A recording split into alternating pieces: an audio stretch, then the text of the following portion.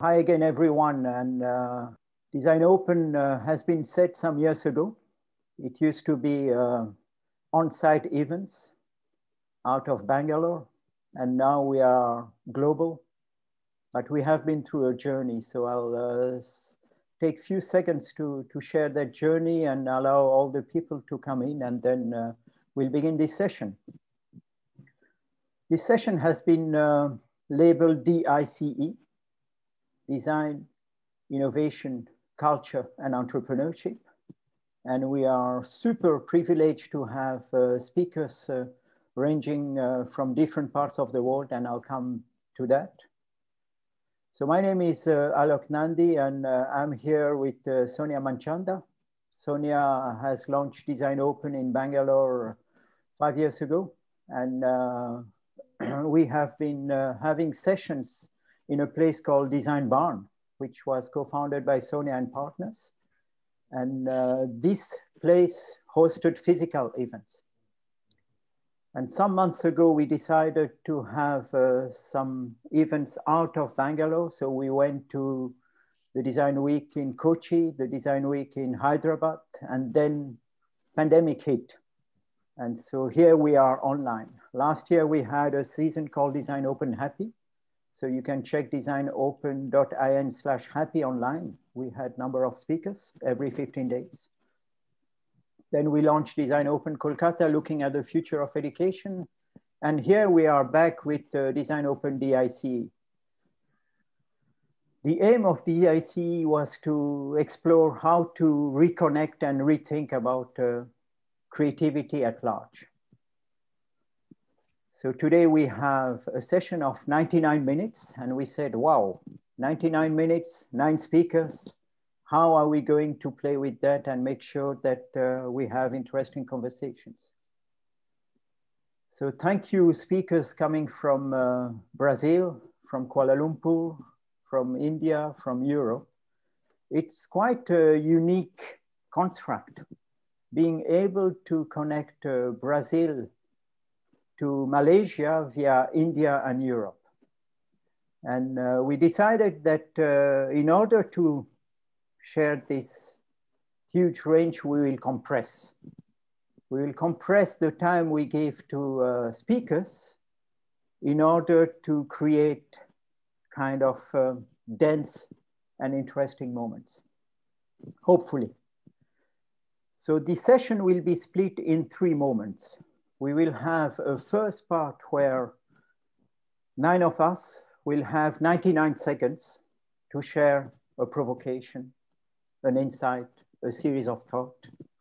And connected to that, we will begin to ping pong to interact. So second moment will be the interactions. And then third moment will be interacting with you audience. So this gives us the frame of this uh, design open session. Designopen.in, the website, will uh, host the recording of the session. So speakers, the session will be recorded. Audience, you can go back to this and uh, zoom back and look at what has been shared. The structure of what we have been uh, working on is uh, based on, as I mentioned, the provocations. So none of us knows what the other is gonna talk about. That's the rules of the game. And then we'll begin to interconnect.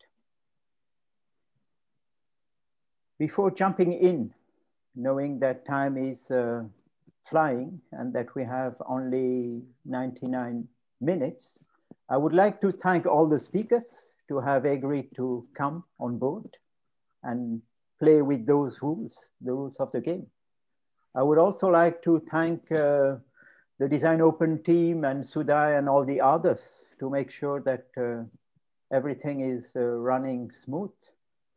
In terms of uh, interactions, we have the chat box where many of you are punching in where they are coming from. And we have a Q&A box. The Q&A box will allow you to put your questions and uh, some of us will answer and feedback and react on that. Sonia, I covered, I guess, all the logistics. Yes, we are we're ready to roll. Mm.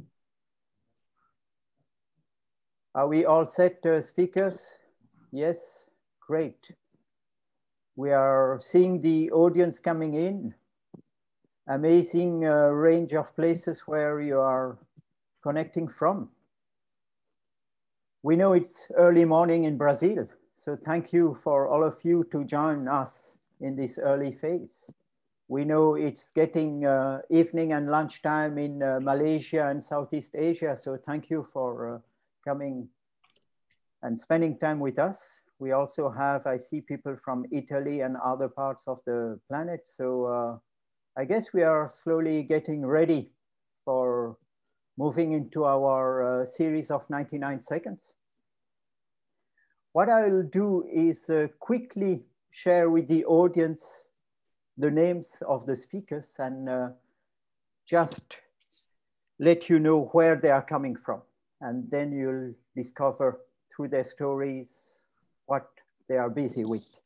So my name is Alok Nandi. I'm based in Brussels, Belgium, and I'm heading Spread Design Europe. And then we'll have Clarissa Biolchini. She's based in uh, Rio de Janeiro in Brazil, and uh, she's heading Archipelago. Then we'll have William Harald Wong, who's based in Kuala Lumpur.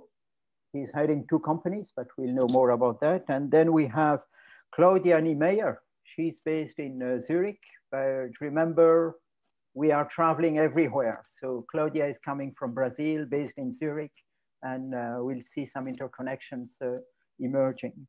After Claudia, we'll have Joseph. 170 pessoas. Joseph is based in uh, Kuala Lumpur in Malaysia. And after Joseph, we'll have Ali, Ali Hill. He's also based in Malaysia. And uh, after Ali, we'll uh, get the 99 seconds from Christopher. Christopher Eriksson is based in Kuala Lumpur, but coming from Copenhagen and uh, contributing to this uh, nomadic life that uh, many of us have, interconnecting stuff. And then we'll have Luis, Luis Alt, who's uh, currently in Sao Paulo. And we'll end the series with Sonia Manchanda based in Bangalore.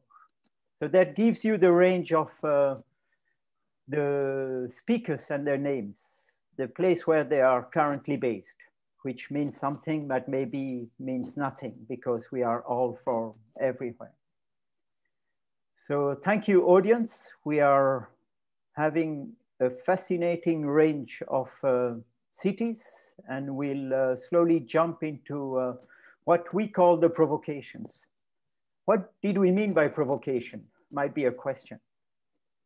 As designers, as creative entrepreneurs, as innovators, Design Open is about looking at emergence, is about decoding emergence. That is how Sonia and myself, we frame Design Open. That means that we need to be curious and listen and try to get into a provocation mode. Provocation can be provided, provocation can be received. It's a kind of interactive modality that we wanna push. So each speaker here will share in 99 seconds a set of provocations and we'll ask the audience to keep traces of that because you might use some of them to ping back and ask questions. We'll ask the same to the speakers. Remember some of the provocations because we'll try to interconnect some of the notions with the others. So this gives the kind of uh, overall setup. We have the chat box for any comment and we have the Q&A box for questions, as I mentioned. And uh, we will now jump into that what we shall do maybe is uh, put a time watch so that we'll try to stick to that rule of 99 seconds, which is a complex rules, but we'll try to stick to that. So I'll jump into that, being the first one providing the 99 seconds, and then I'll pass the baton to the next speaker and we'll move from speaker to speaker. Are we ready, everyone? Speakers, are you ready? Yep. Great. So uh, time to jump in. It's uh, 11 minutes after the hour for those of uh, you who are in a zone time zone where it begins at the hour. It's 41 for those who are in India. So uh, let's uh, jump into uh, what we call the provocations and I'll jump in and then we'll have the next one, which I'll introduce after. Great. So 2021, systems are stuck. How can that be? What can we work on to release the creative energy of people? That is what I have been thinking here as a design open platform, having all these uh, speakers with me together, having all this audience, and reflecting on one core idea. We know that we don't know. What can we do when we know that we don't know? And how can we envision new connections? And how can we help in reconnecting these four keywords, D-I-C-E, design, innovation, culture, and entrepreneurship? These four words are what we call polysemic words. They mean so many different things to so many people. And then I thought, okay, we have D-I-C-E, let me bring to you, dear speakers and their audience, three other words in order to begin to interconnect. The three words I would like to share with you are diverse or diversity. The second one is dense or density. And the third one is distributed. Dense because we need to have passion, density diverse because we are here a diverse set of people. And my key assumption is that diversity is what is needed in our planet to rethink, reframe. And the third one is distributed. Without our distributed systems, we would not be in a position to have this kind of conversations. How can we leverage on distributed? And I'll end these 99 seconds and give the floor to the next speaker. And the next speaker is Clarissa. Clarissa Biolchini, she's based in Rio de Janeiro, and she's gonna jump into this 99 seconds exercise, and then we'll go to the next one. Clarissa, the floor is yours. Hi, everyone. Very happy to be here. Amazing audience. Hello, everyone. Um, my provocation is about the role of the designer. Um, as we are all designers, and I love our profession um, I've been thinking very much lately about our role in the world and how we can really contribute to um, to better solutions for our planet. I think um, this. I, I, think design, uh, sustainability, and circular design will be the next wave of design, and I don't think we are ready for it yet. So, I think it's going to be a big big challenge for us, and we are very much able to to get this, uh, you know, uh, trigger. And uh, so, what are we really? How are we really planning? How are we going to take this challenge? And how can we, as designers, really contribute to a better future? including planet and people, of course. So this is my provocation.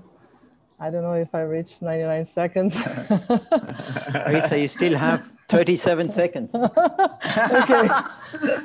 uh, Locke is very precise.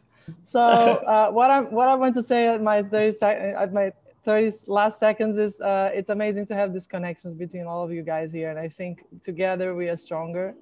Um, I'm really glad to see my friends from Malaysia and Brazil and India together here. I'm really excited about how we can really do things together and plan things together. So why not get connected over the globe to think about global global uh, challenges and global problems. So I think this is what we have to do, and we are starting today. So great. That's why I'm really happy. Yeah. Thanks, Clarissa. So Clarissa was zooming in from uh, Rio de Janeiro in Brazil, and uh, we'll move to our next speaker and uh, have uh, the provocation from William. William Harold okay. Wong is based in KL, and William, uh, looking forward to hearing your voice. Uh, thank you. Can you hear me clearly?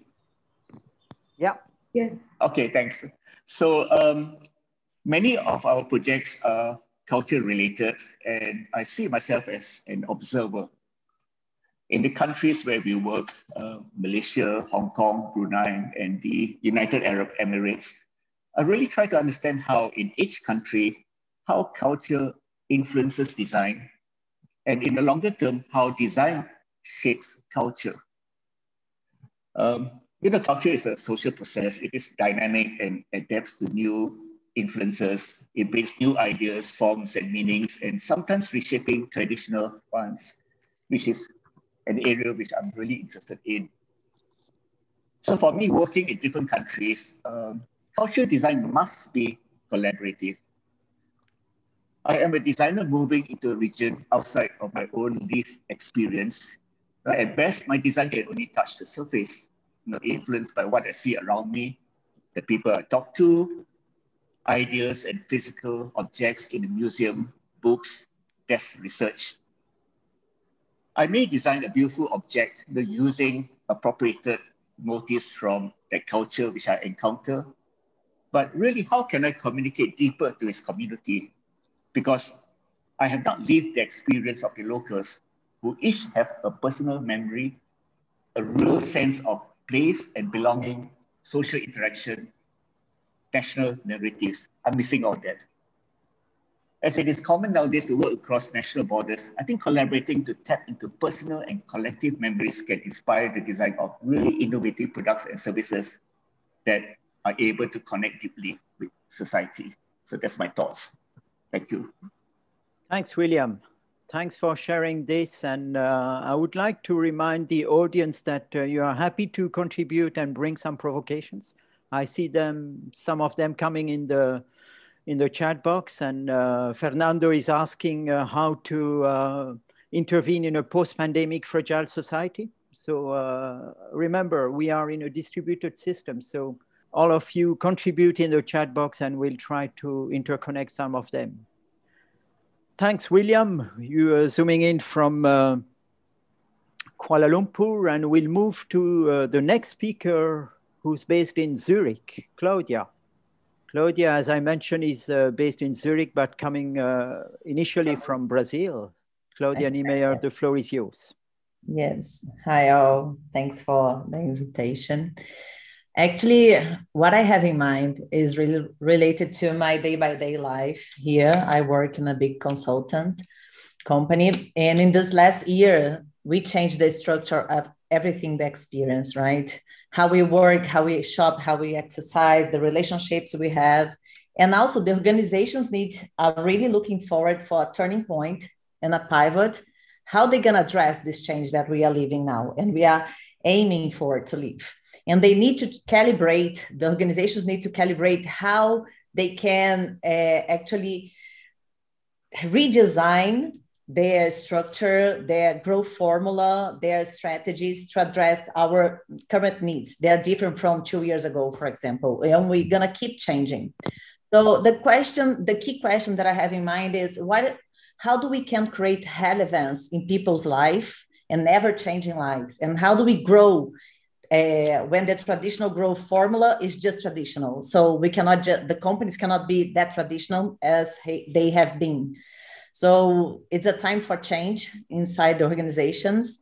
And we are aiming, and the organization are struggling that, and there's also an opportunity and a space for a new category of leadership. And we have a space for this to emerge. And what I have in mind is what is this kind of leadership? What is the, the need and the mindset that we need? How ready are the, the companies to have this new kind of leaders? And what they we can have in the future that they can deliver. That is what I've been thinking about. Thank you, Claudia. You see that in a few minutes, in a number of seconds, we have so many keywords which are triggering reflections and attention. And I see the same happening uh, in the chat box. So uh, the challenge we have is we are getting so many interesting insights how are we going to keep trace of that? How are we going to push the conversations after this design open session is one of the challenge that I set to all of us as speaker and audience.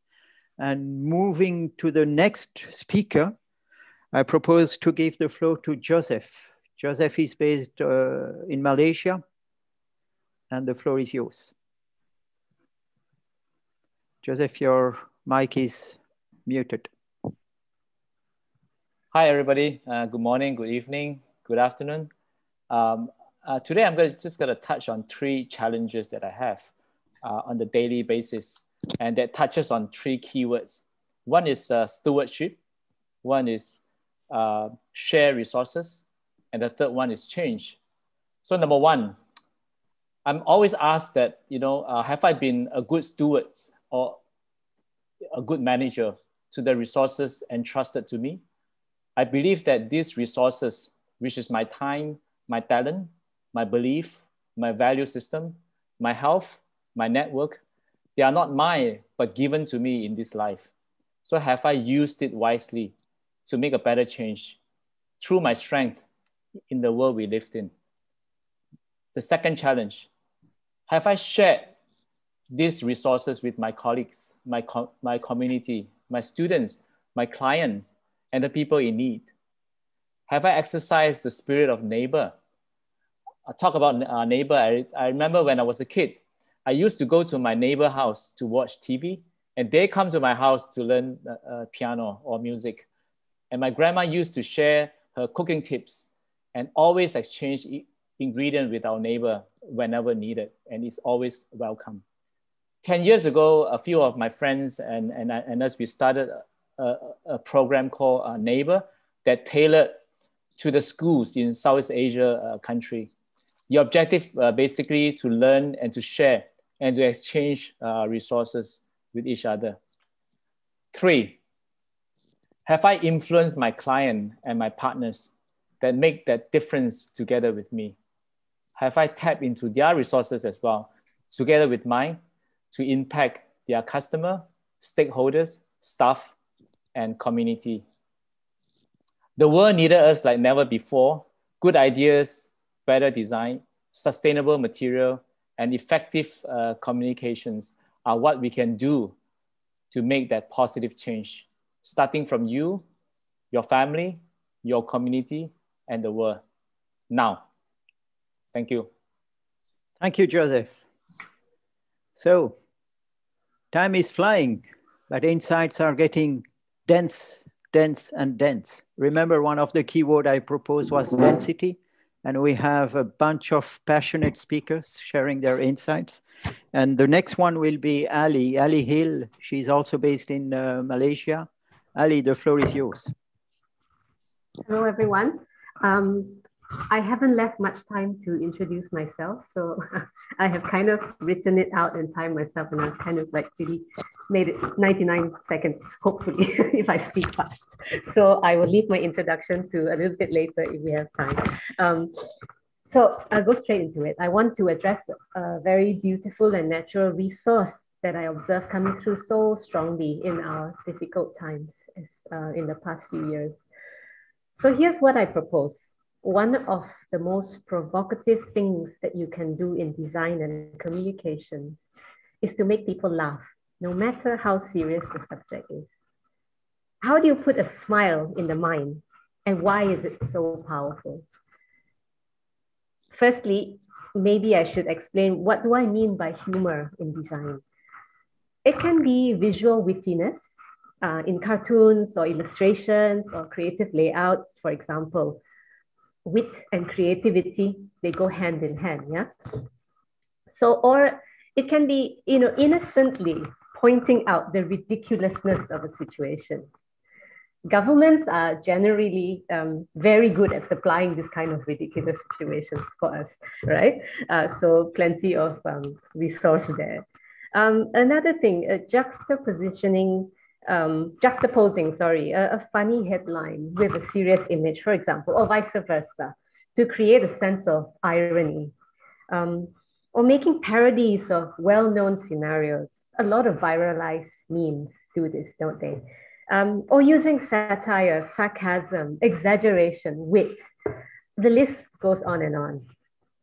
And but here's why I think it's powerful. Because humor unites your audience. When they get your joke, they feel included, their intelligence is aroused, and you win them over. And humor is infectious and very, very shareable. Thirdly, humor is the enemy of authority. Nothing undermines authority like holding it up to ridicule. It is a little bit harder to be afraid of something when you can laugh at it. And yet, humor is gentle. True humor is never cruel. Bullying, for example, is not humor. Humor gently invites us to even laugh at ourselves or to laugh together at a situation. And in this way, it opens a door for us to acknowledge our common humanity and vulnerability. So, lastly, I know this is obvious, but it sparks joy.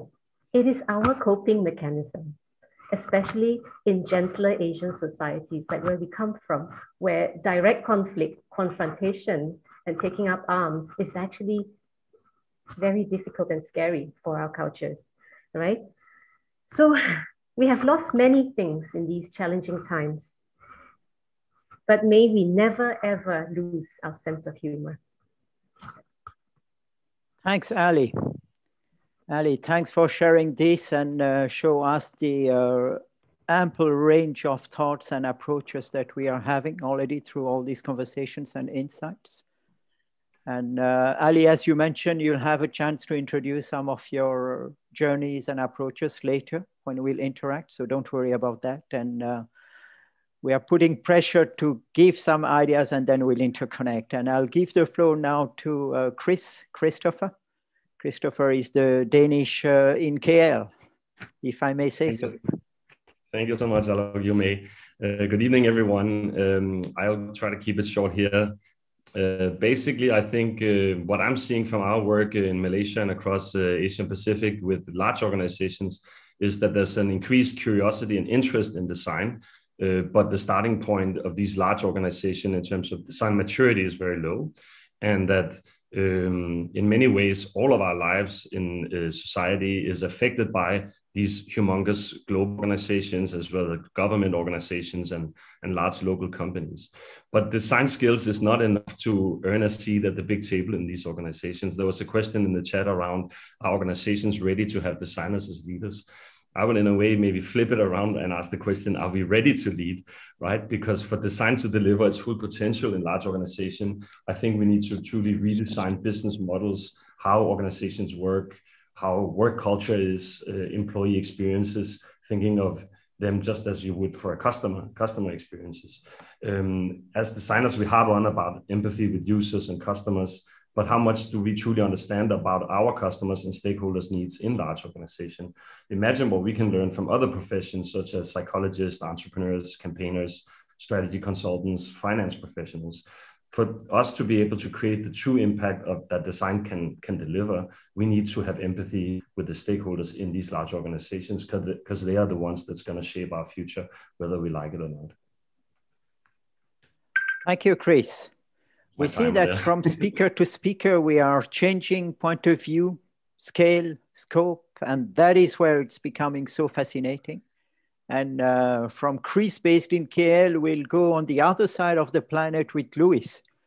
Luis, are you ready to zoom in? Luis is based yes. in Sao Paulo. Yes, hello, thank you. Yours. Hello, everyone all over the world. So today uh, I want to bring my uh, provocation for the practice of designing for services uh, specifically, I want to question why we've been approaching the practice as a mirror of the industrial process of developing goods, uh, which is a linear journey that ends up with a specification of a product that will remain the same forever. Um, so services are not like that. Services are changing all the time. They have elements, they have uh, digital interfaces, they have physical spaces, they have people, and you can't manufacture services. They evolve over time. Uh, you can't ship a service hardly.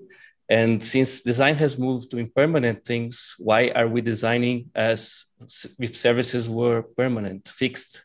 So this is my provocation. Thanks, Luis, and thanks for shaking uh, the linear thinking that our planet is uh, frozen in, and we'll come back yes. to that one. Super. After Luis, uh, we'll go back to Bangalore, India with Sonia. Hi, everyone. Thank you, Alok.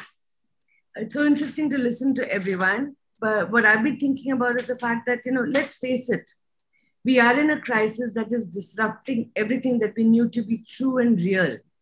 You know, there is no looking back to the ways in which we have lived, loved, learned, worked, behaved, just moving forward. You know, that's the only choice we have. And therefore, when you look at leadership, the only sense making strategy that leaders have today is looking at fuzzy data that's emerging, projecting positive future scenarios, uh, creating possibilities, wrestling down fear with as much imagination as possible.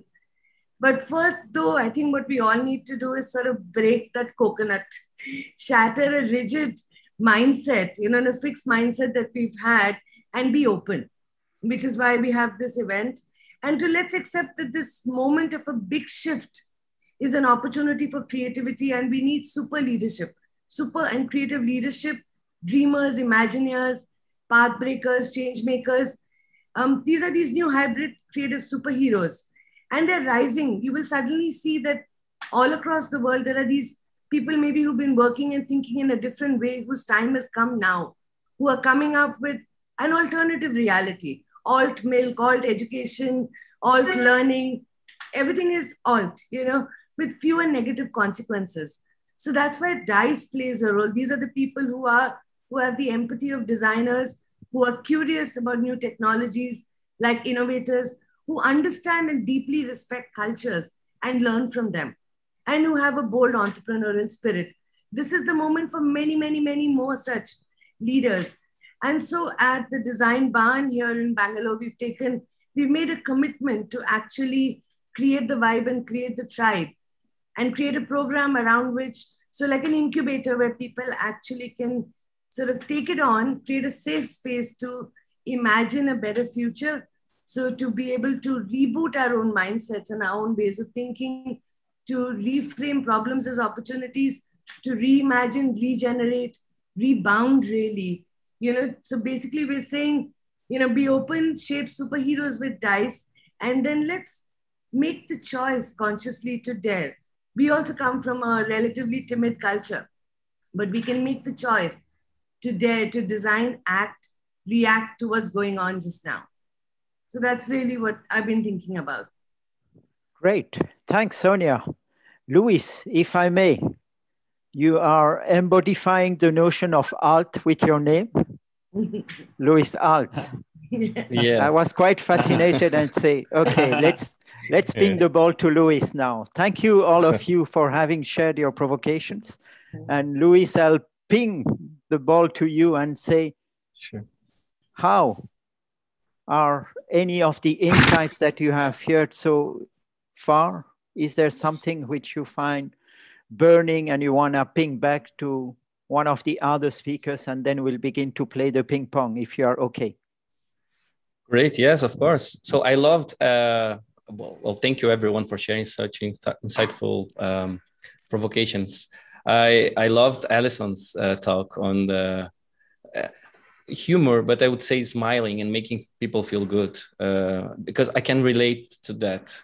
We've been um, as designers uh, very focused on function. I would say in, it, it doesn't matter the area but specifically I would say in services and and and digital uh, product design, uh, we've been pretty much focusing on on helping people to do some things uh, and to do it uh, fast flow, uh, with a good user flow frictionless uh, but i agree and I, I, I see so so the provocation that allison made got me in the sense that i think we should be able to insert more humor more meaning more uh, uh, to, to turn services more witty. I'm not sure if that's the, the proper word to say.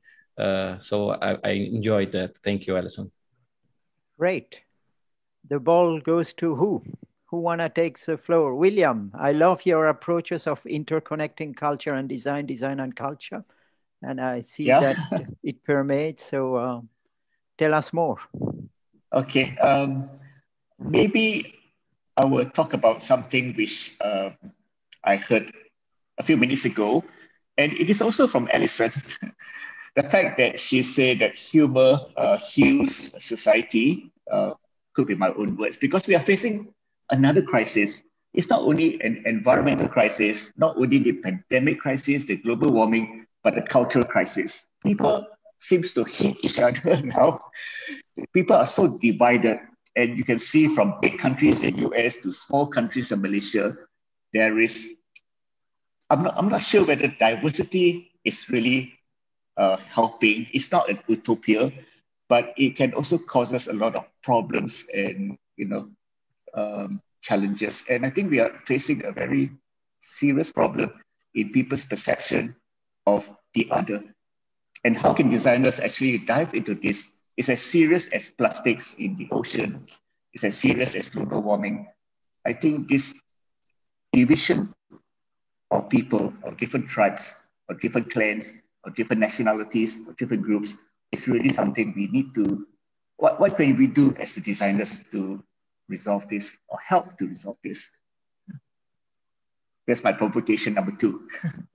Thanks, William. Uh, Chris, you want to react on that one? Thanks. I'm not sure I have the answer for that one. I think I agree it's important. Um, I think my mind was maybe somewhere else, so maybe I'll start there.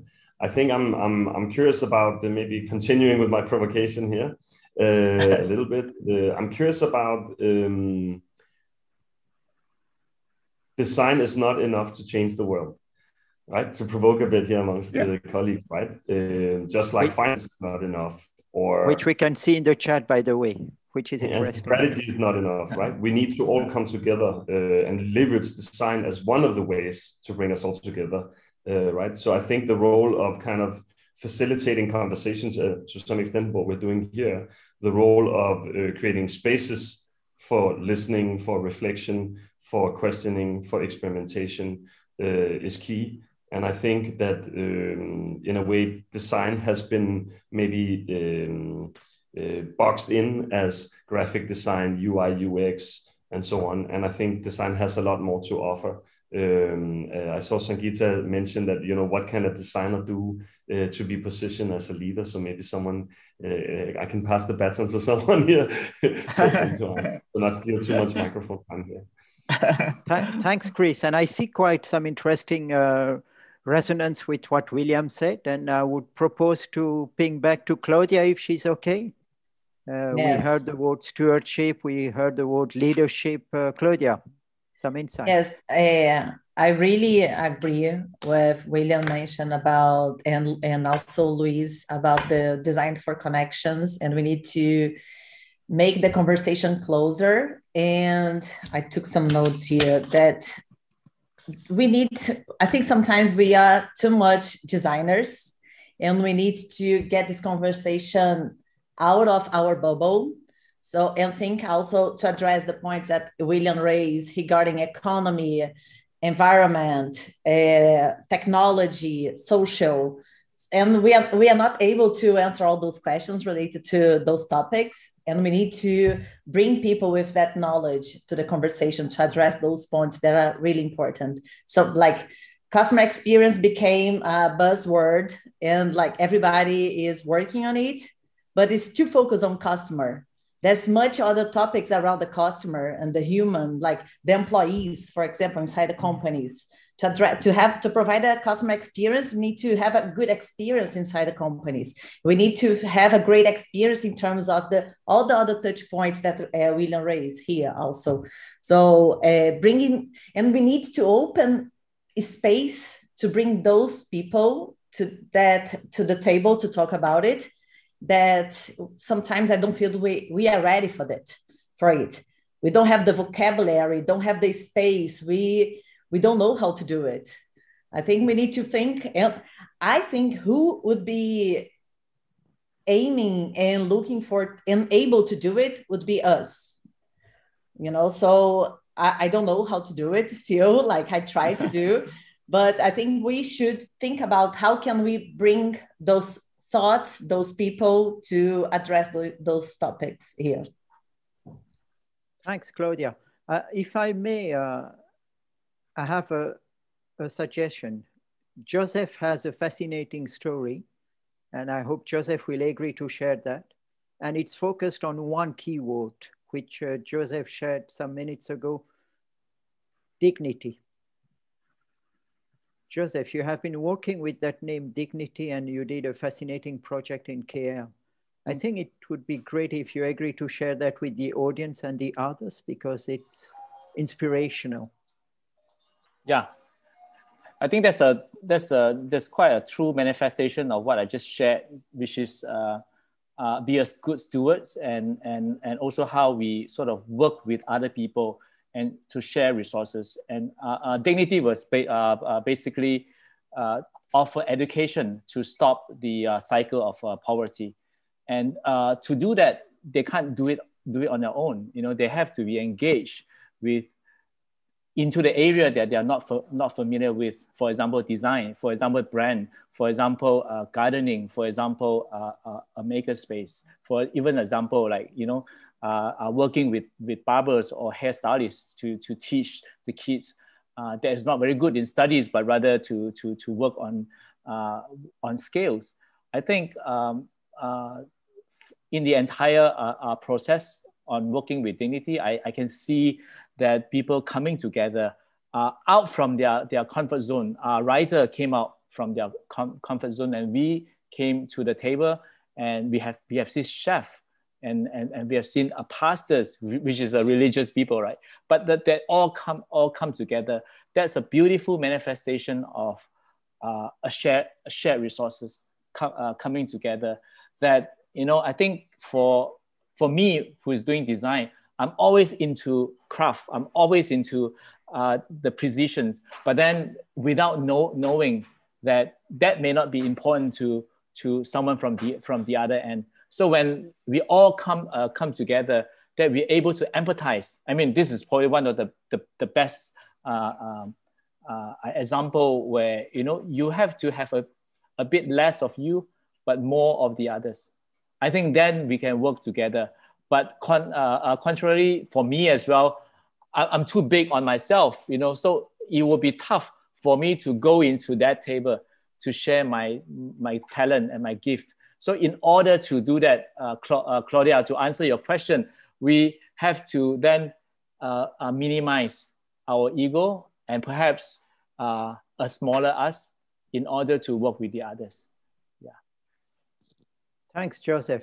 Clarissa, what about uh, pinging in from uh, Rio. What I would like also first, Clarissa, is to thank you because Clarissa, Sonia, and myself, we have been talking about this design open session. And Clarissa is uh, the person who seems to be based in Rio, mm. but she has been in so many places and she is more uh, Kuala Lumpurian than many Kuala Lumpurians. So, Clarissa, the floor is yours. So, just if I may, Alok, I would like to thank uh, Clarissa for inviting me to this uh, conversation. Okay, so just uh, I, I, I should have uh, th- thanked her in my in my talk. Thank you, Clarissa. You're welcome, my friend. Um, I was just telling Alok that I'm really I'm really touched by this event. Um, I'm really happy because. Um, as Alok said, I lived in Malaysia for when I was a young designer for four years, uh, and um, that's when I met William. William was my boss and uh, my mentor, and I met Joseph and Ali. We worked together, and William R. Wong's associate and associates. And William was a great uh, teacher to all of us because he was already a senior at that time, and he was very inspiring. And um, culture was something that he was already saying at that time. Remember, guys? And um, I think it's really time to think to, to think about these issues.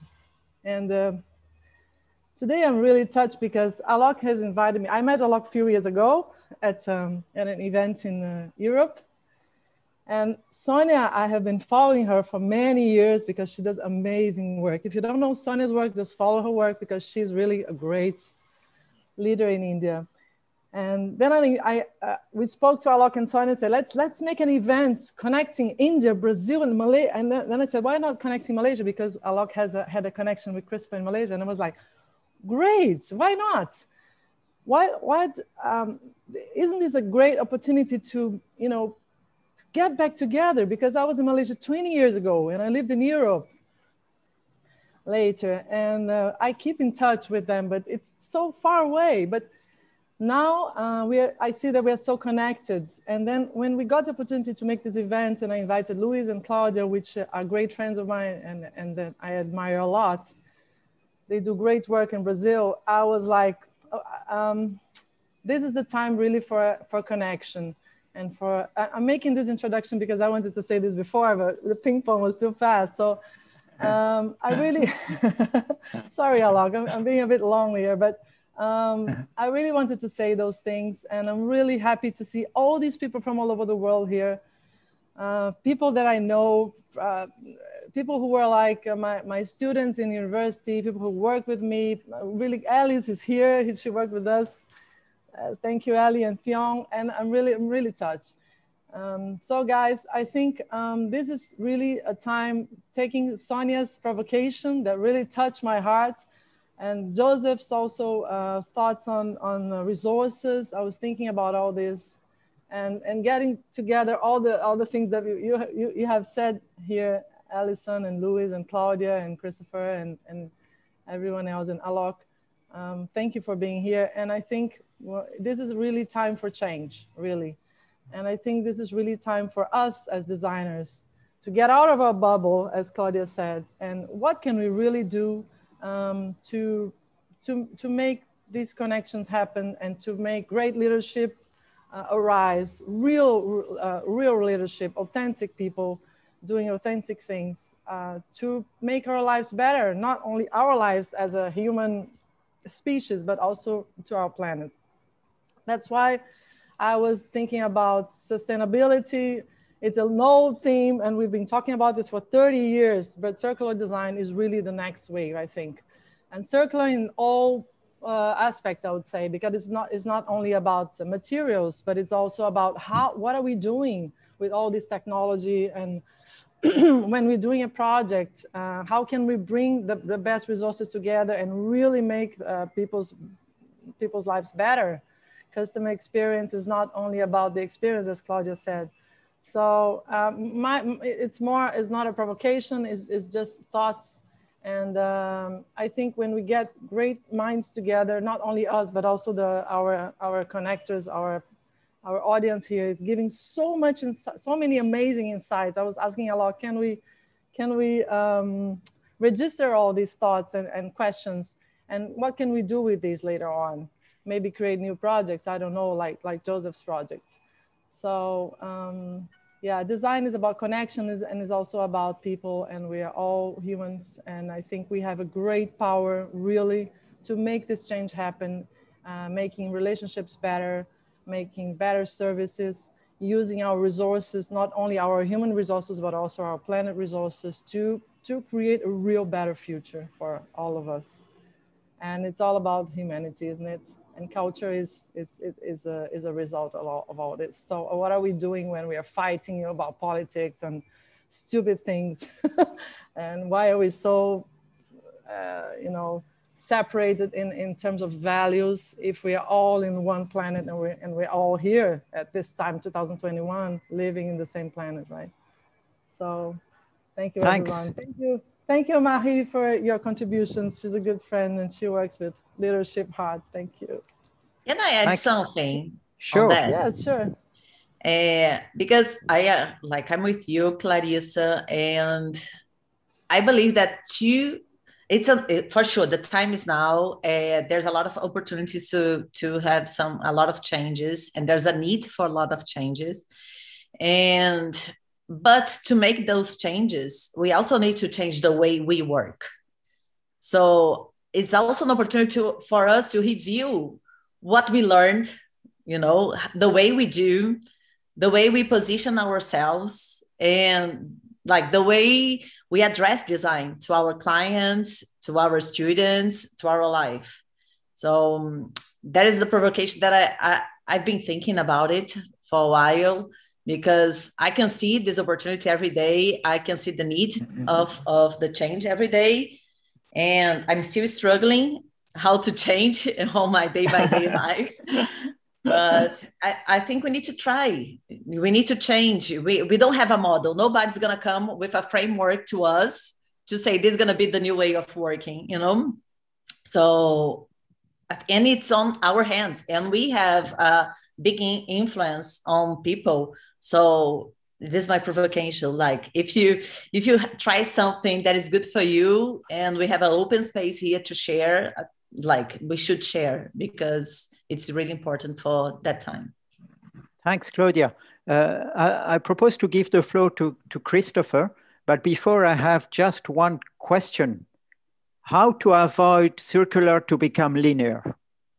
Because Luis used the word linear thinking and Clarissa came with circular is the new next.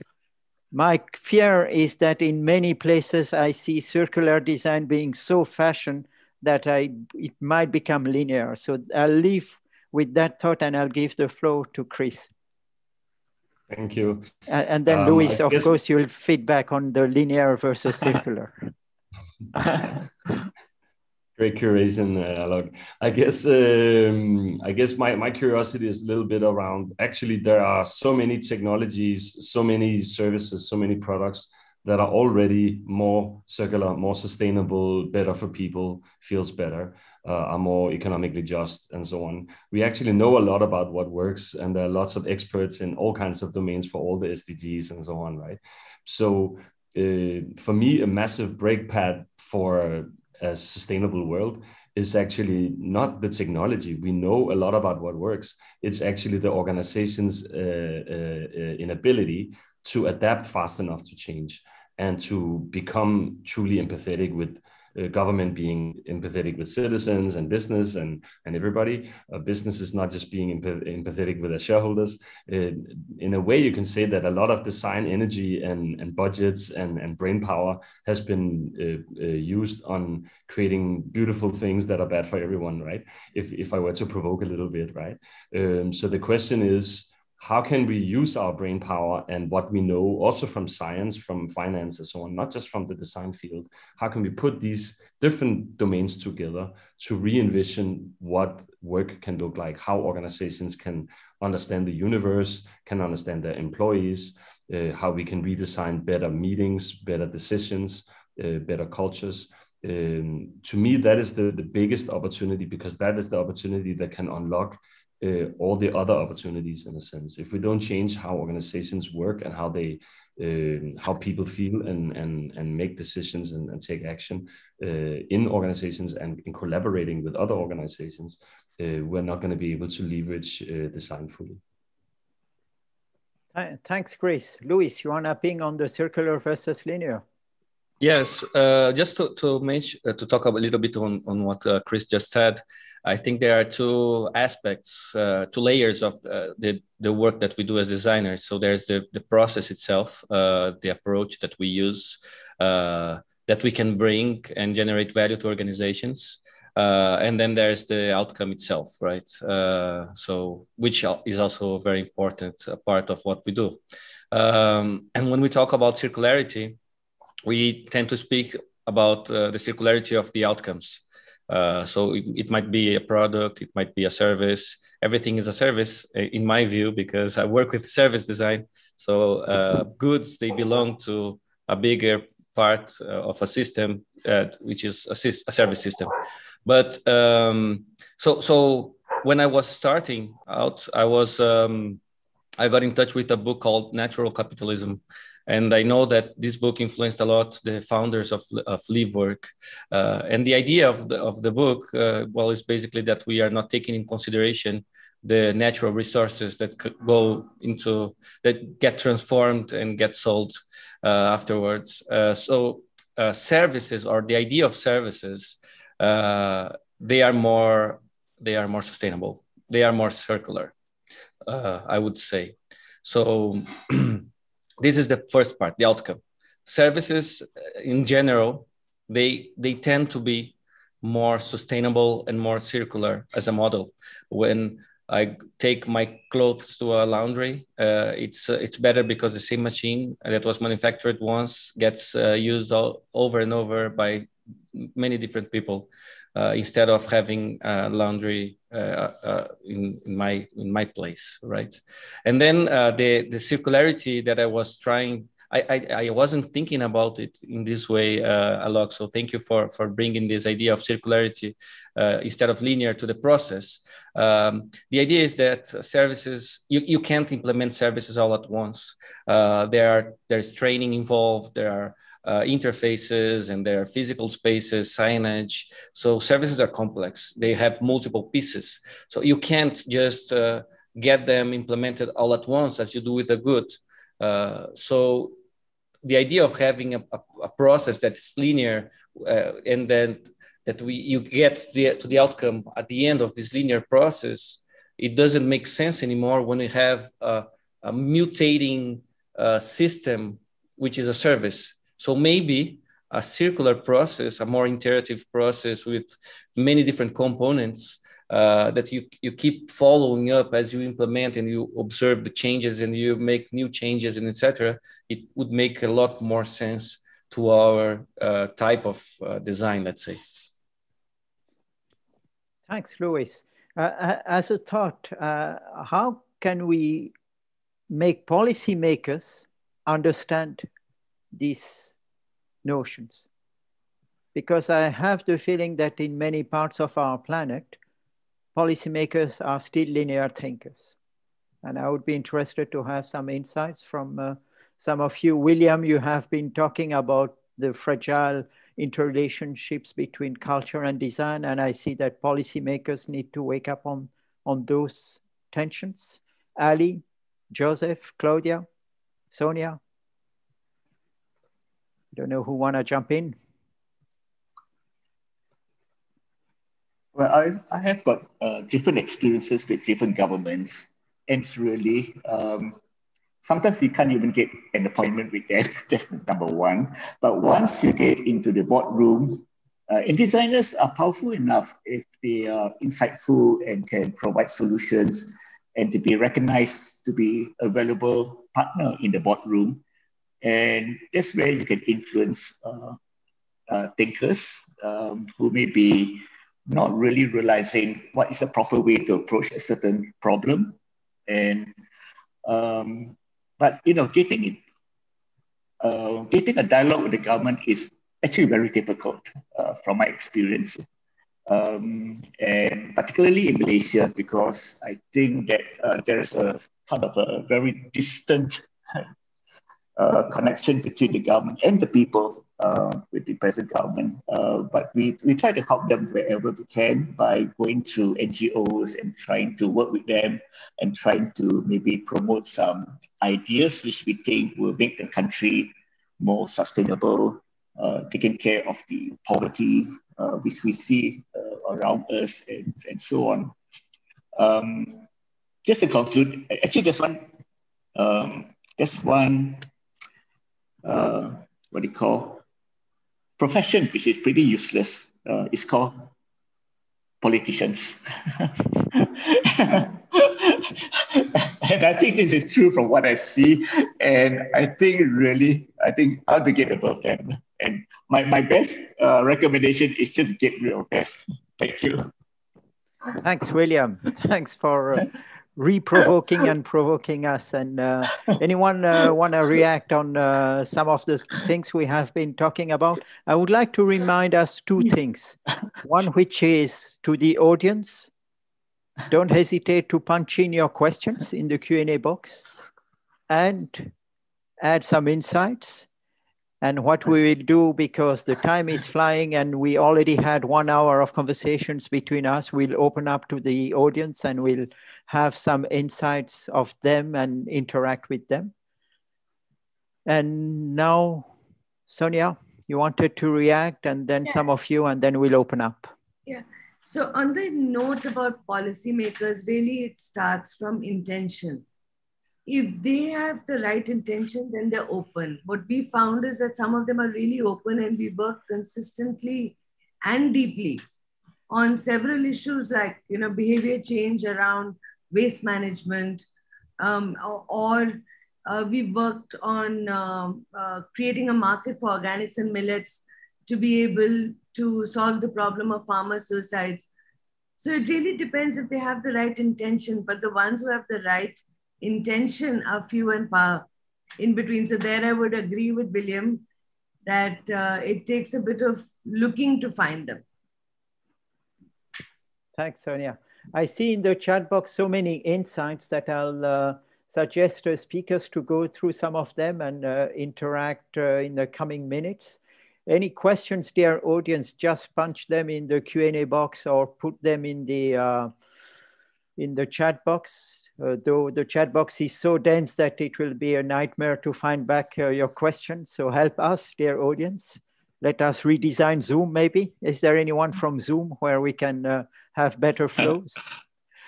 So any other insights from any of the speakers before we open up to yeah I, I i have just one one one point um, coming from malaysia and i think for the past i mean since i kind of understand how the politics work and we have we have actually not relying on government it's not just me uh, it's just me and many, many of my friends, my peers.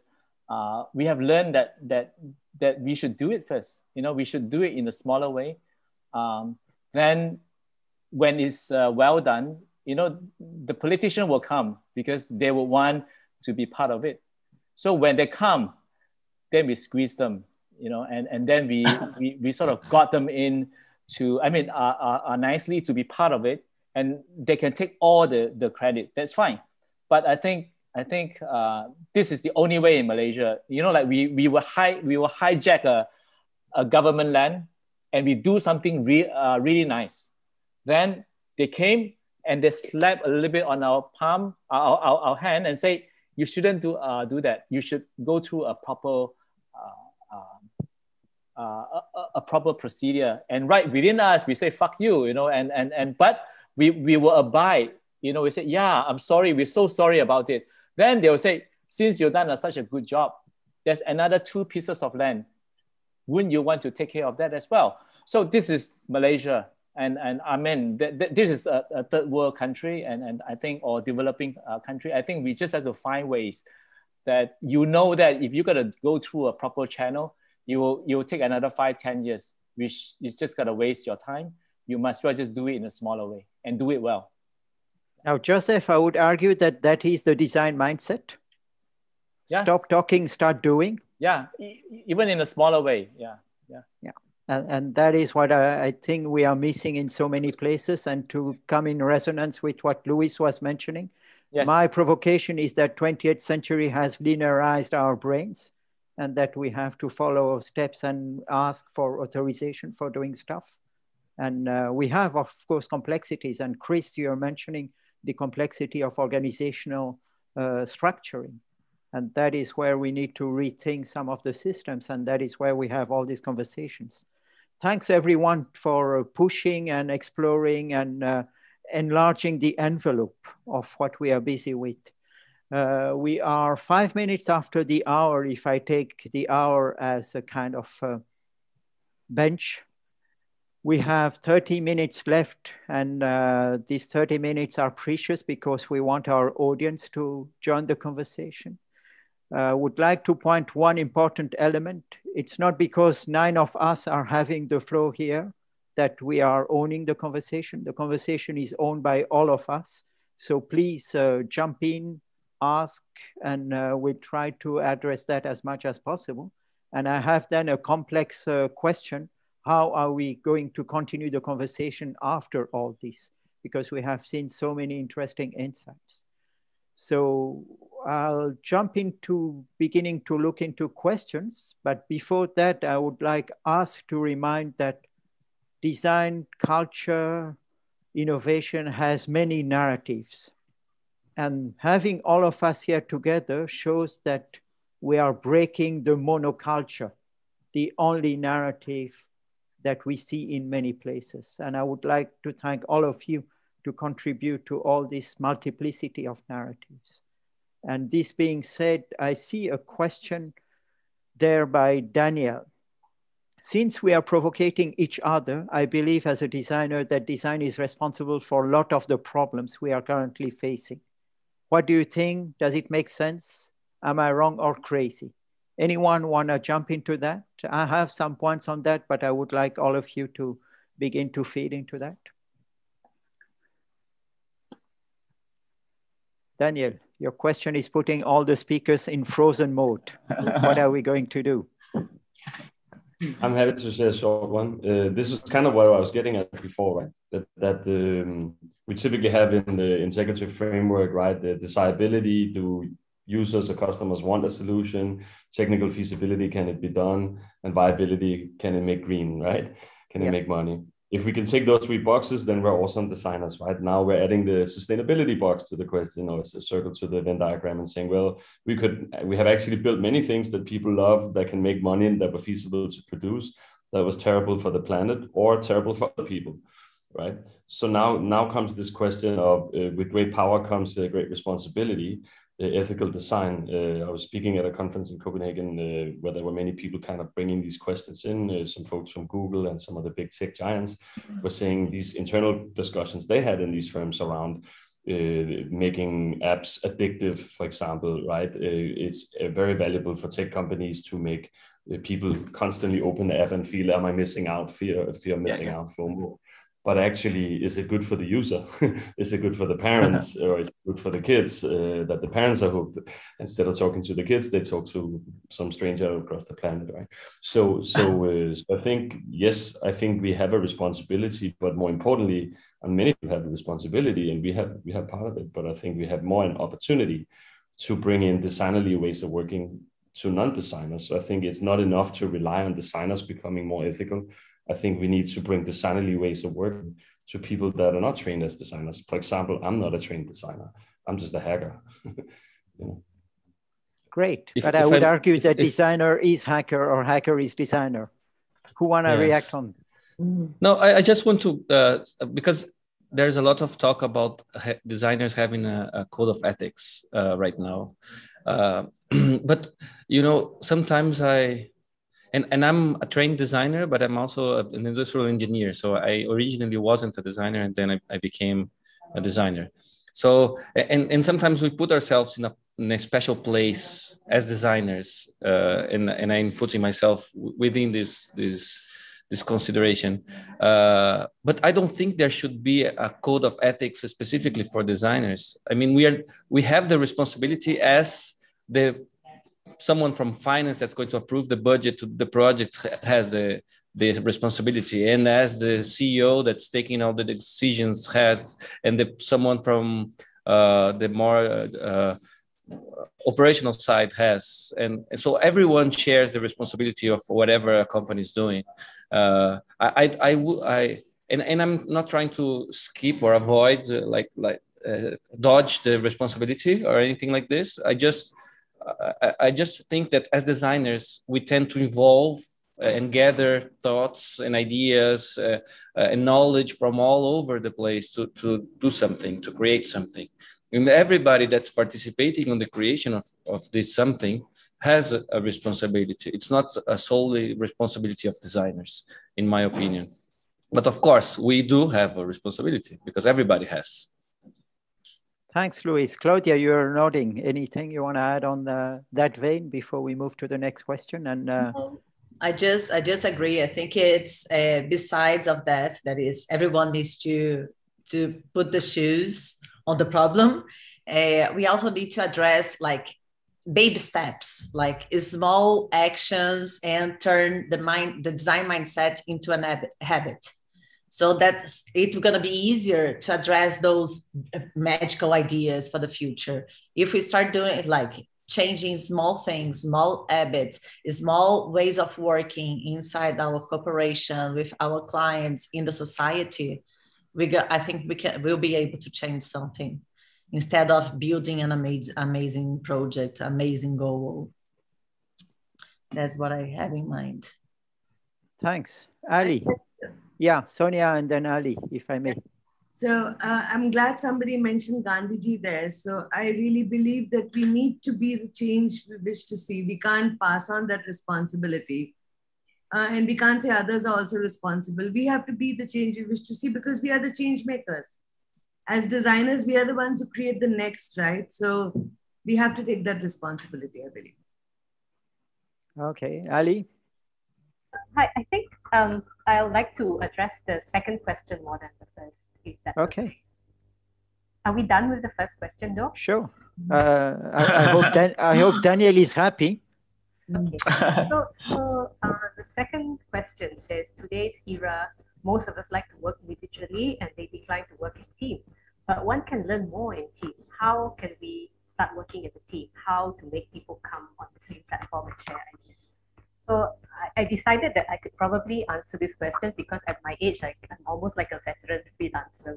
So I've been freelancing for so many years that um, uh, so I understand how it, it, it, it's great to work individually. I get to decide uh, on many things. Uh, um, I have, like for example, one of the decisions I made for myself is that um, I will only work with organizations or companies where I have direct access to the decision maker. Uh, otherwise, you know, that personal, there's, otherwise there's no reason why they should work with someone like me. Uh, so I, I try to only work with people whom I can bring some benefit to. But uh, the other thing I wanted to talk about is um, um, the idea of us as um, design people um, or as not sure what the word to use is for all of us collectively. But it, the thing that I wanted to talk about was leadership, uh, individuality, but also leadership. And that's why I'd like to um, encourage you to think not in terms of team, but in terms of creative collaboration. And I think that's a really, really important thing that needs to happen more and more now in our interconnected world. Um, so uh, I, I I work, I've been working alone, but not alone for many years now. Um, I, for different projects, I seek out different people. So, so how, how to make people come on the same platform and share ideas. Um, think sideways. Don't look for the usual suspects in, when you want to collaborate. Um, you know, for example, um, uh, you don't need to work with a photographer who um, is only specialized in one thing. You can maybe, if you have the confidence, uh, challenge that photographer to photograph something that's completely out of his comfort zone. Um, we had this project uh, where we, um, got a bunch of children uh, to to take photos, and, and why not? Um, let's let's learn to uh, let's learn to put our ego to one side and, and think about the wider possibilities uh, because um, yeah two things um, leadership um, leadership to me also is about um, because we've kind of in the in the fearful old days pre-internet pre uh, before we were we were that connected um, there was a lot of our, we were working in fear. We were always fearful that someone would copy our idea. We were talking so much about, you know, our rights to our copyright, our, our, our. Um, but nowadays, I mean, come on, guys, you know, like uh, who really has an original idea these days? It's not about how original your idea is anymore. I mean, who cares about that logo you did? You put that logo in Google reverse image search, you will find two million other logos that look almost like it, right? It's about it's about what you say, it's about what you choose not to say, it's about how you present yourself, it's about your accountability to the world. Um, all those things matter. And that's why, and we cannot we cannot do all that alone. The client cannot do it alone. We as a designer cannot do it alone. Um, at the community, that's where community needs to come in. So um, go out there and, and, and find people in the most unusual places. Like I said, children can take photos. We've even did a project where we we had few blind people who were interested in taking photos. Anything is possible. Thanks, Ali. I think it uh, comes also in resonance with Chris uh, when you are talking about organizational uh, design, if I may use that word, and the notion of creative collaboration that Ali is pushing has to push us to rethink the notion of organizational design. That would be my take in an insight out of these dynamics. And I find that uh, super interesting. And it comes into some conversation we had with Sonia. How can we make sure that stuff happen by, and, and it, it goes back to what Joseph and William, you mentioned about resources. What do we mean by resources today and how do we reconnect them in, in some new interesting ways? And, and that is where uh, we see some uh, insights which I'm sure will feed Luis thinking about the notion of services being not uh, rigid uh, and where are all these connections and how can we think about the next. So fascinating, fascinating. Uh, and that was a question by Anonymous. Everybody knows Anonymous, of course. Shall we move to the, the next one? How regional culture informs the running of design business here in India. Sonia, you want to jump into that? And then I'm interested in how regional culture informs the running of design business in Brazil or in Malaysia, because we are interested in multiple narratives. So I love the density you were talking about. I mean, there is so much depth, uh, depth in the culture and there is so much value there. I mean if you take something like turmeric and the value it has for the world you know there is in the languages in the nuances. And all of that is great material you know uh, to start designing from. And i think we have that. And maybe we've come back a full circle. And in that full circle there is all of this depth that we can use. And in designing a lot of the retail that we have in India, we've actually looked back at some of that. For instance, you have rose jam in Turkey, but you also have rose jam in in uh, in India in with the Tamil community. And so we said, no, but why don't we celebrate it? There is so much to celebrate in culture um, that it becomes a great palette to take from and paint the future with. And I'm sure all cultures have that, but the the the depth and the plurality of what we have in India is just so tremendous and so dense that we can really pick up from there and create from there. And I'm sure we have that uh, density in Malaysia, in right. Brazil. Yes. And that is why I'm so interested in these interconnections between uh, uh, all these geographies. And in Europe, with Chris and Claudia, we know that there are so much nuance which are under the radar and design open, we are aiming to try to put the light on these topics. Like if you go to Copenhagen today, the landscape has changed in 30 years. Fascinating. And uh, it's not only about the chair, if I may say so, Chris. We are not only designing chairs. There are so many stuff happening. So uh, great. William, Sonia was mentioning that we are circling back on culture and you are the one who yes. came up as a first provocator on this notion of culture. Any insights before we move to the next question? Yeah, sure. Um, I, um, I'm not sure whether you, uh, our audience know of it, but I started an organization called the Design Alliance Asia in the year 2000. Uh, it is still very active, by the way. So the, the, the main reason is really uh, Asia is actually um, very diverse, but there's a lot of similarity, similarities in each of the different countries.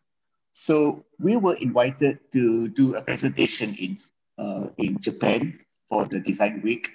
And the Japanese actually asked the Design Alliance whether we can present Asia in half an hour.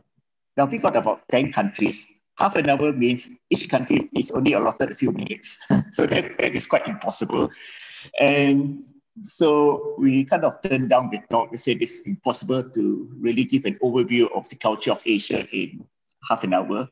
And they came back to us, okay, we got a slot for you uh, for the final session of Design Week. You've got three and a half hours to explain Asia.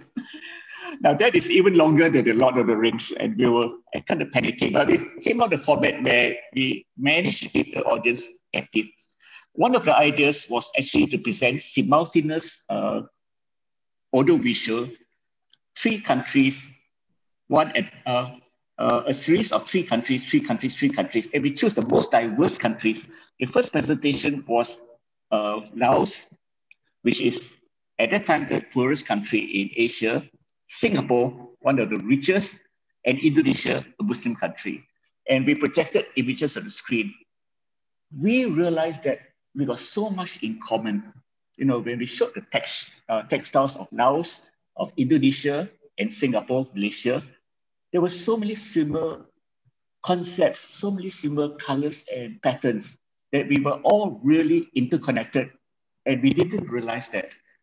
So the, the, the function of the Design Alliance is really to come together every year where each of us do, we are now 14 countries, each of do a presentation for about half an hour. And through that one, two days, we begin to understand Asia, how interconnected it is and how diverse it is. So this is a continuing study uh, which we are uh, still exploring. And it is actually, um, there are a lot of similar things where we can also advise corporations, especially corporations which are moving into various regions. Um, and, and so we have actually set up a consultancy in that sense to kind of help them along the cultural, um, to, be more culture sensitive, to be more aware of local uh, sensibilities and talents and so on. Yeah. So um, that's one way to do it. I think everybody should collaborate in this way across regions, across countries, across even cities of your own country. You learn so much. The knowledge is amazing. Yeah. Thanks, William. My, my designerly takeaway from this insight, and I'm sure that Luis, Chris, or Clarissa, yeah. you'll react on that, is we as designers our obsession is to look at patterns yes. and try to extract insights, bottom up, emergent, and not impose a yeah. grid which is de facto pre-built. And that is what I, I think is interesting to mm-hmm. reflect on. Uh, Luis, Clarissa?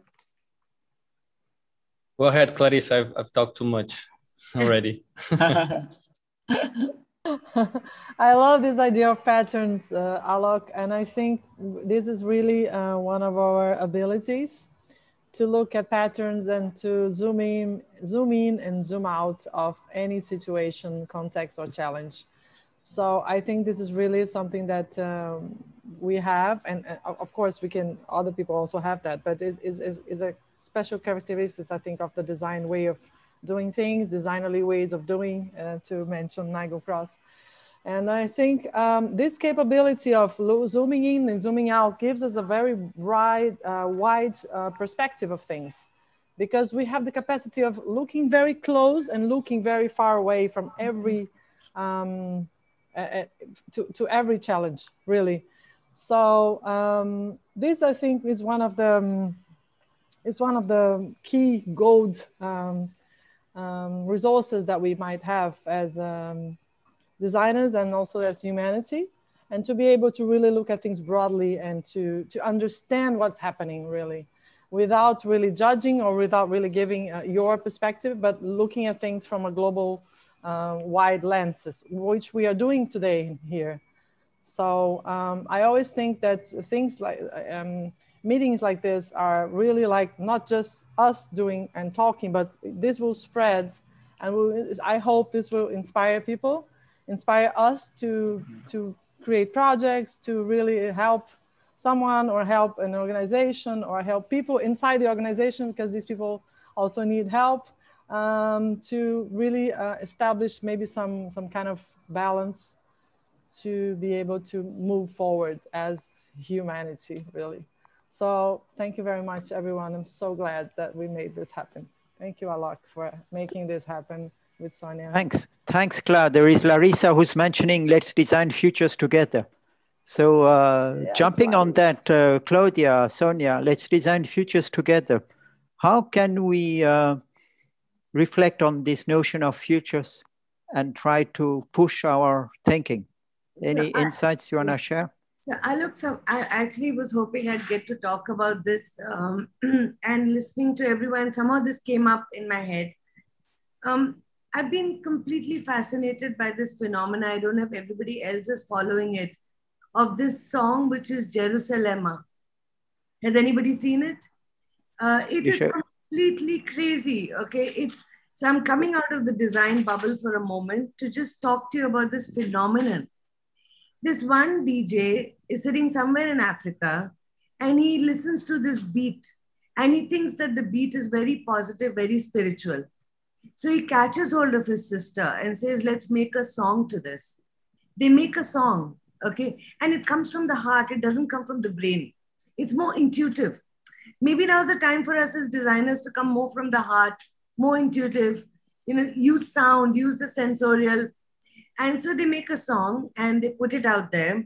In Angola, some other people make a choreography to it.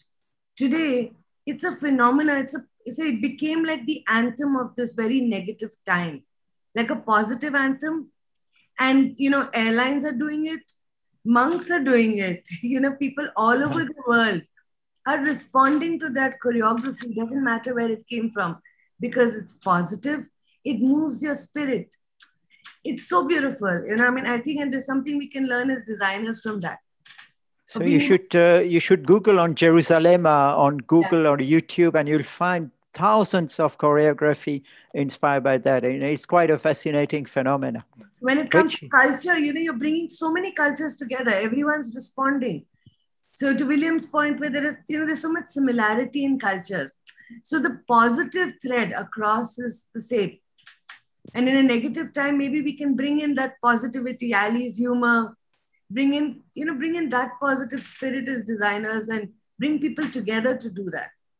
So I so for me that is fascinating and if we can learn from there as designers it would be useful great thanks i see that there are quite a number of questions we need to address and there is uh, only 11 minutes left because we have that 99 minutes uh, constraint and we have to respect the time of the others and so how are we going to deal with that that is a design problem we need to have another another meeting to wow. schedule another meeting, maybe maybe one month from now.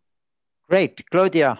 Are we all ready for having a version number two of this and continue some of the conversations? And bring new people for sure, maybe from dif different disciplines. Okay, so that's already one concrete next step. Sonia, Clara, we need to work on that with Chloe. Yes, yeah. Okay. Uh, any other insights before we try to address two or three questions and then we have to land back and finish our 99 minutes? I see uh, Avik Guhatakurta. Can mass customization be the guiding design principles in present time? Is it practically possible to achieve that in all scenarios? Luis, you wanna react on that one? Oh, oh this is, um, yeah. Yeah. Uh, Avik, you are killing Luis. Luis is getting a little yes. bit nervous. So, uh, I mean, the mass customization uh, used to be a very important term uh, when there were no screens and we didn't have this device uh, right here that uh, would change itself more easily with um, with every user, right? With every person. So now with codes, uh, the idea of mass customization uh, is, um, is, is, is, is not that it's simple, but it's not as complex as it used to be. Because when the term uh, emerged, I think it was more th uh, thought of as uh, something for physical objects, and uh, and you could customize like I remember shoes where you could add your name to a, to a sneaker, right? So the idea of mass customization was harder. But now uh, we get customized experiences with our digital interfaces.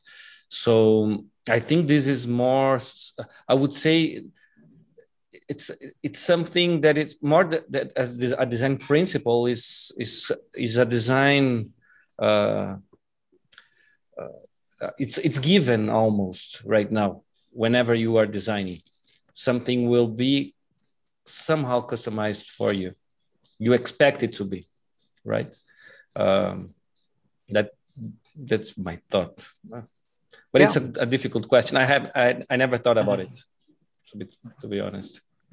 Great. So, so that is the value of these conversations. Also, it's opening our own envelope. Yeah, yeah. And uh, Chris, you want to react on that before we jump into another question and then we begin to land? Yeah, I, I guess maybe my thought is uh, I, I, agree very much with what Luis said, and I, I guess um, to some extent, I think uh, there is uh, there were some questions, for example, around the kind of uh, being a young designer and what are we getting hired for? How can we become leaders? These sort of questions, right? So I think there may be some people on, on this call who's like curious about how can I create an impact in the world, but also have a have a decent life, right? So I guess that um, it's about seeking the right spaces and seeking the right people where you can get the right mandate and don't don't uh, don't let other people define your future, right? I would say to that question. Building on this question around um, uh, mass customization, I think there's a huge opportunity in using design together with, for example, finance, we see uh, cryptocurrency, blockchain, and so on, to create new economic opportunities for design and for designers and entrepreneurs. Because as long as we are optimizing the old model, uh, which a lot of design is doing still, right? A lot of digitalization is just taking the old services and putting it in new tubes. Um, what if we can rewire, uh, for example, uh, we've seen some of these plays online in terms of using the power of the crowd to change economic value uh, in the markets and, and that kind of hacking behavior. It's not that all of it worked well, but but there's some something interesting around uh, creating new platforms, platform design that isn't platforms set up to rip us all off uh, as consumers and use our data and sell it, but platforms that are set, set up to make us stronger and make the, the 1% less strong to be completely honest. So I think there is also a question of why are we designing in the first first place? Why is design so important? Uh, what do we believe in as designers? Uh, what world are we designing for? Um, and how can we create uh, individual lives and communities and experiences where you can balance uh, your own life well-being and economy uh, with doing work you believe in right um, so i think that's what a lot of designers are struggling with that i know is that where the money is is often uh, in in working with the dirty brands or doing the good old boring thing and i think that a lot of people may be telling themselves oh, this is the only option i have. But i think but design your career as well. Design yourself. Look for those thanks chris. And I guess we'll have a quick tour with the speakers. And I'm sorry for all the questions which are not yet addressed, but time is flying and uh, we'll have to envision, as Claudia was suggesting, maybe a V2 of uh, Design Open Dice and reconnect all of us. Uh, meanwhile, I see that Colette is enjoying uh, looking at priests and nuns dancing under Jerusalema tune, which is uh, quite fun. Uh, let's have a, a, final tour de table. Uh, Clara, Clarissa. Uh, I've already said um, all my emotions and feelings about this uh, group together. And um, I'm really glad we're able to really share across the globe and um, so many insightful thoughts uh, about the audience, uh, from the audience. Thank you so much for all the questions because it's making me think. I wanted to write down everything, but I hope it's all registered. I asked Alok. And, I hope so. Uh, I think our, our goal is achieved of provoking and uh, making us, ourselves ourselves think about all these questions and also uh, thinking using Alok's expression thinking back to the audience and in a, in a, in a great uh, very wide conversation so i'm already thinking how can we continue this not only online but maybe uh, uh, of course online but not only um, like like this but in, in some other ways uh, of continuing the conversation and really building things from this so I love the idea of landing. So thank you for being in this airplane with us across the globe. Since we cannot fly in a real airplane, we are flying here in a, in a virtual airplane. Thank you very much, everyone. That's a nice metaphor. Thanks, Clarissa. Thanks for making sure all these connections yeah. took place. Uh, Ali, you want to add a few words? Uh, we have four minutes left. Sorry, I'm uh, pushing with the time, but uh, you know, I'm the Pechakucha organizer of Brussels, so I have a clock in the head. I, I, think only in 20 seconds. So I just want to very quickly uh, address something. I, I noticed a comment after what I said um, where the, the, person responded to say, of course, there are original ideas. I, apologize. I think I, I made the, the wrong impression um, when I said, about original ideas or, or something like that to that effect. What I mean is, um, how do we build on the on our ideas? Um, how do we how do we um, how do we I guess it is how do we take ownership of our ideas and be the design leaders to um, you know instead of um, I think there are a lot a lot of us work in this industry, especially the, the older ones are a bit they're a bit more jaded and we find ourselves complaining a lot about how things weren't how they were uh, how in the good old days. Um, you know, you can't charge the same amount for a logo these days, for example, because there's a, something called Fiverr.com who are happily designing a logo for five US dollars, things like that, right? But um, Ali, if I may, your audio seems to be breaking. Ah, I see. Sorry. Yeah. Okay. Um, so um, can you hear me better now? Yes. Yeah, very Okay. much. So But time is um, flying, so I'll put pressure on you. Be careful. Okay, yeah. So um, I think what I was just going to say is that um, keep moving, keep going forward. Um, don't um, stay with the things that um, are making you feel um, diminished, feeling making you feel like your your job is less important these days. Keep looking forward. Keep finding new uh, new ways that you can be relevant because it's what you have here and here that's most important. Great, which is in resonance with uh, Sonia's uh, mention of Jerusalema. It comes from the heart. Joseph, William, you each have 10 seconds, Luis, and then Sonia, and then we'll have to thank everyone. And uh, as Clarissa was mentioned, the plan is landing. Okay, for me, uh, yeah, for me, I think uh, I, I picked up from what William was saying is on observation. I think uh, with with the world that we are in now, I think we have to make that observation within ourselves and also on the world around us.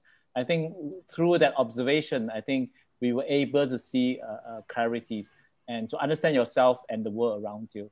I think that's that's probably what I just my takeaway. Yeah. Great, thanks, William. And then uh, Okay. I, I'm afraid we'll close. Yeah, um, during the course of this conversation, I remembered two quite uh, interesting experiences I had. I managed to change the outcome of two board meetings by really, like in the coffee shop, just talking to the CEO one to one basis. He listened, I listened, and we speak. And maybe that's a way to change public policy in that sense, because uh, it seemed to work for me. Uh, and I remember several instances where I succeeded. Thanks, William. Here comes the 99 famous minutes. Thanks everyone Yeah. for having uh, played the game with us. And uh, designopen.in will host the recorded version of this. And uh, Sonia, Clarissa, myself, and all of you, let's uh, think offline how to keep a trace of all these conversations and maybe open a space where uh, people can contribute and continue to uh, add some layers of insights on designopen.in slash conversations.